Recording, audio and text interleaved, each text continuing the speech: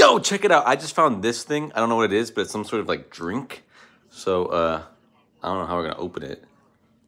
I don't think we open it that way. Take the cap off. I think you use scissors, but I don't have any. So, oh, we're just gonna bite it. Yo, that's that's really good. Can I try? Yeah, try some. Ew.